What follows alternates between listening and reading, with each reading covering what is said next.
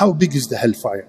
Rasulullah sallallahu alayhi wasallam described and explained when he said, Jahannam, the hellfire will be brought and it has 70,000 zimam.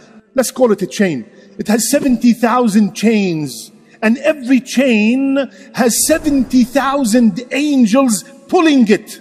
وَجِيءَ يَوْمَئِذٍ بِجَهَنَّمْ 4 billion 900 million angels just pulling Jahannam. The space, Rasulullah told us, the space that every person occupies in the hellfire is between the distance of between Mecca and Medina. That's the space that every person in the hellfire will occupy. And one of the teeth of the people of the hellfire, one tooth is as big as the mountain of Uhud. And their skin is 70 cubits thick. That means 100 feet thick. May Allah save us from the hellfire.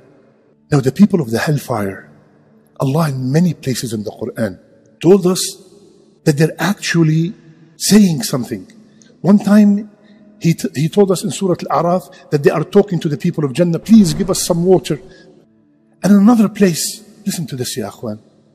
وقال الذين في النار لخزنة جهنم ادعوا ربكم يخفف عنا يوما من العذاب and the people of the hellfire they will, talk, they will tell the guards of Jahannam please we beg you tell Allah make dua that Allah subhanahu wa ta'ala will save us just one day of the punishment skip one day قالوا أولم تأتك رسلكم بالبينات didn't your prophets came and told you قالوا بلى they said yes so the angels told them you made the dua so Allah said وهم يصطرخون فيها they are screaming intensely in it what are they saying Ya Allah take us out so we can do things that different than what we used to do Ya Allah please take us back Ya Allah take us out and if we do the same thing that we used to do then you would consider us ظالمون wrongdoers and then they told Malik, Ya Malik, Ya Malik, ليقضي علينا ربك. Ya Malik, the, the angel, please tell your Lord, let him destroy us, خلاص. Because there's no death over there.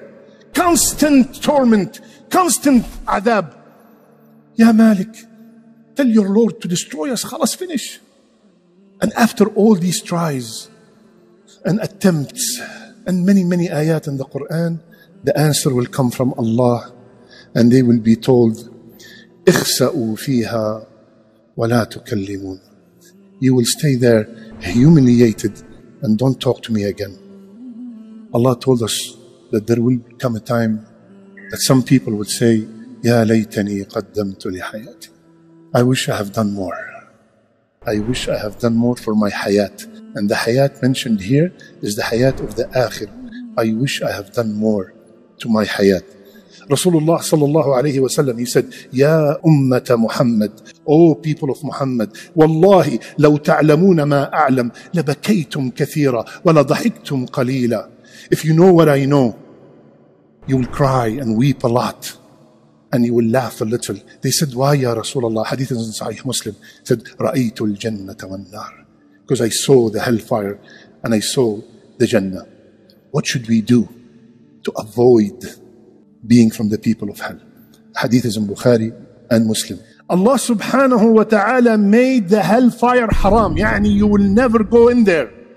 To whom? To whomsoever said, La ilaha illallah, yabtaghi wajh Allah. Seeking the pleasure of Allah. ربنا اصرف عنا عذاب جهنم إن عذابها كان غراما Allah subhanahu wa ta'ala told us that the people who are Ibadur Rahman, they made this dua. Ya Allah, keep the hellfire away from us. Ameen, Rabbil Alameen.